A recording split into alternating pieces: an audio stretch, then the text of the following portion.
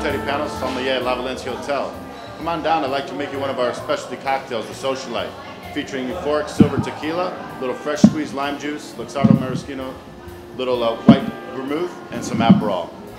Perfect summer sipper out here by the bay.